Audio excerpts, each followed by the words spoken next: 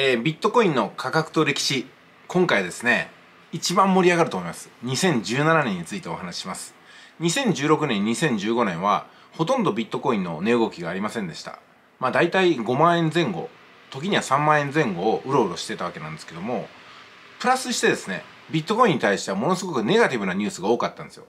ハッキングされたとか規制されたとか本当にね踏んだり蹴ったりのビットコイン暗号通貨業界でした。本当に通貨革命は来るんだろうか。そんなことまで思わせるぐらいね冷え切った2年間を過ごしたわけなんですけども2017年諦めていた価格に一つの節目が見えます。じゃあ2017年のこれまさにね出川ショック。これについてお話していきましょう。まず最初のニュースなんですけども2017年1月5日あっという間にですよ。急にですね価格が10万円を突破しました。終値、ね、えー、11万986円です。ビットコインが2017年以来の史上最高値をつけました。ほらねビットコイン10万円超えたでしょっていう風なある姫の言葉を何回も私は聞きました。すごくビットコインが多くの方に知られることになった最初の月です。最初の年であり最初の月ですね。日本円ビットコインの取引で特に取引が過熱し円ベースでマウントゴックス事件前の最高価格を超える史上最高値をつけたと。主要取引所の中ではコインチェック。これ一時ね15万2900円 BTC を記録することとなった。ということなんですよね。コインチェックにこうアカウントを作っておいてよかったと思ったのもこの時です、うん、まあ眠らしていたビットコインがついにね火を吹いたって感じでしたね。えそして同じ日なんですけども中国人民銀行が中国国内の取引所と会合調査をしたということが報じられました。日本円で過去最高のビットコイン価格を記録した同日中国人民銀行が中国国内の三大取引所 OK コイン BTCC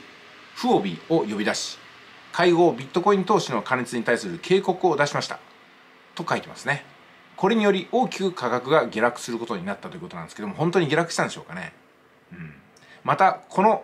あと数週間にわたって中国国内の他の取引所を含めてさらなる会合調査が行われ結果的に中国取引所の取引手数料無料が撤廃されるなど中国人民銀行による規制による影響で圧倒的な取引高を誇っていた中国取引所の取引高が大きく減少したということでございます。確かに2017年の1月なんですけども私の手元のビットコインがねかなり価格を上げてきたのと同時にビットコインをビジネスで増やしましょうみたいな勧誘があったのと同時にね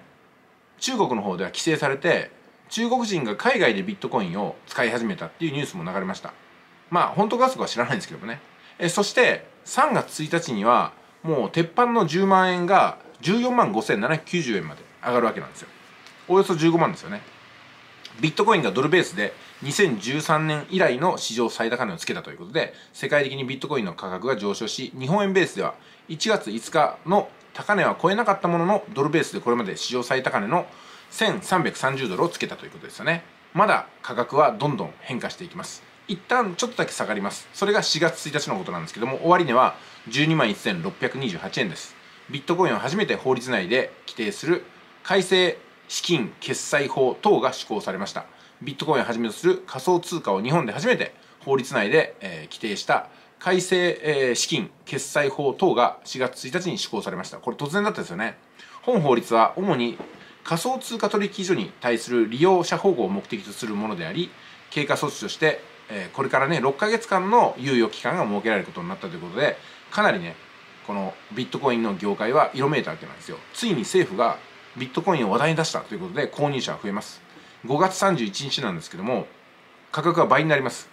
26万7284円。GMO コインがサービス開始したということであの GMO がみたいなねことで色めき立ちました。FX 証券事業なども行う GMO グループが取引所販売所を設立して GMO コイン旧 Z コインですね。Z コムコイン、え、これをサービス開始したということでございます。価格は止まることを知りません。6月20日にはね30万円近くまでいきますよ。29万6864円です。ほらね30万50万100万いくわよっていうふうにある姫が私にそして多くの人に言ってくれました。信じてビットコインを買った人はここからまたねドラマが始まります。ビットコインの記号があ B がユニコードに追加されるということでございます。これちょっと私意味があまり分かんないんで飛ばしますね。じゃあ2017年の8月1日なんですけども一つの節目が訪れます。ちょっとニュースが長いんでお付き合いください。ビットコインのブロックチェーンが分裂した新たにビットコインキャッシュが誕生したということなんですよ。ビットコインキャッシュです。ね。私もビットコインキャッシュが本物のビットコインになるんではないかなと思ってね盛んにニュースを発信した覚えがあります。従来のビットコインのブロックチェーンこれブロックサイズ上限 1MB が初めて人為的に分裂することになりハードフォークにより新たな仮想通貨としてビットコインキャッシュブロックサイズ上限 8MB が誕生しました。ね。これ大きな事件でしたね。だから本格的なビットコインはこっちになるんじゃないかなと私は疑わなかったんですよ。実際はそうではなかったんですけどね。新しく誕生したビットコインキャッシュには今までビットコインのフォーク版としてリリースされながら分岐はしていなかったビットコイン XT ビットコインクラシックビットコインユニリミテッドなどのコミュニティチームが合流し長年続いていたスケーラビリティ問題の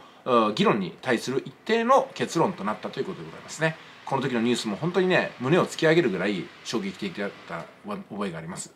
ビットコインキャッシュのようなスケーラビリティ問題の議論の結果によるものではありませんがビットコインキャッシュ誕生以来いくつのビットコインフォーク版が公開され同様な形でハードフォークが行われたということで次のニュース8月24日にはなんと価格は46万3318円ということになりました。セグイットが有効化されたわけなんですよね、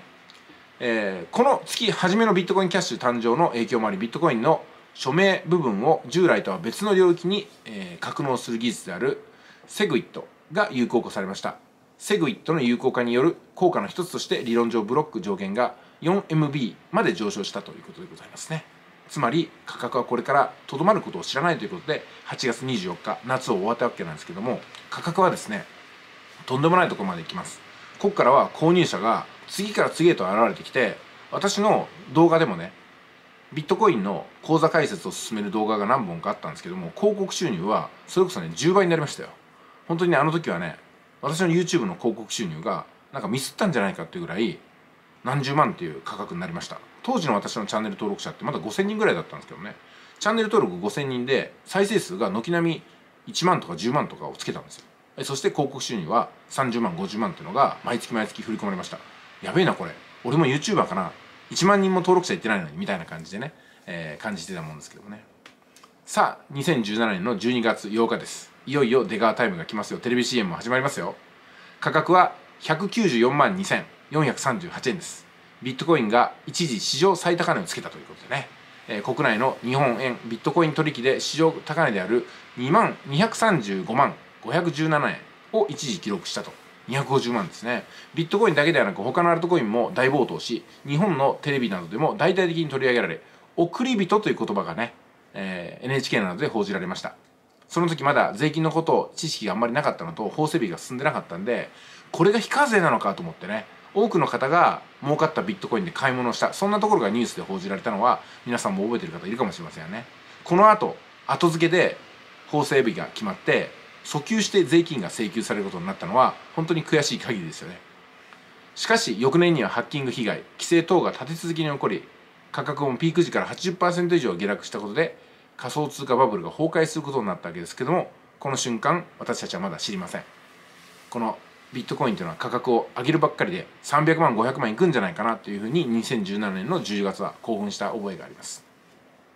さあ次のニュースです。これが最後になります。えー、2017年12月17日なんですけども終値は222万7388円。CME でビットコイン先物取引もスタートしました。世界最大規模の先物取引所であるアメリカのシカゴ CME なんですけどもビットコインの先物がスタートしました。1週間前には CBOE これシカゴオプション取引所なんですけどもこれでビットコインの先物は始まっていたんですけどもさらにね追い打ちをかけるように私たちのビットコイン魂に火をつけてくれたんですよ。この日同じ日にはビットコイン取引で終値としてもう過去最高の先ほどお話した222万7388円をつけたんですよね。えそしてこの価格を見て購入した人はまさに高値掴み地獄に落ちたということになりますけどもね。さあじゃあ2018年の価格はどんな風に推移していくのかもうちょっとお待ちいただければと思いますんで次回の動画をお楽しみに。それでは。